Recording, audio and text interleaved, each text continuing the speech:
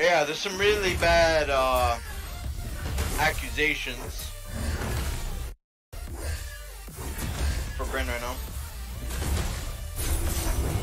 It's so bad that I can't even say the word. It is pretty bad though. It is pretty bad. Are we fighting here? Mm. It's so bad I can't even say the word. There's only a few things that it could have been. And nobody died. So if nobody died, there's only one other thing, you know what I mean? I need you guys to uh, just guess for me. He was killed. Um, accusation.